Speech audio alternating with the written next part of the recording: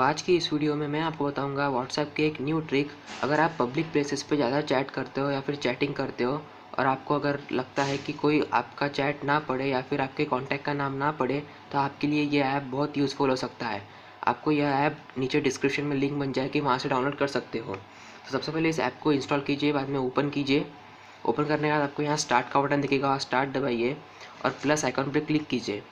ऊपर आप कोई भी नाम सजेस्ट दे सकते हो। यहाँ पर आपको एंटर करना है फेक नेम आप यहाँ कोई भी नाम डाल सकते हो।